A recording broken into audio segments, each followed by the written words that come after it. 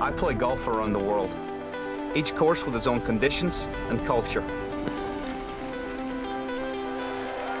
But honoring the game's traditions and integrity remains constant.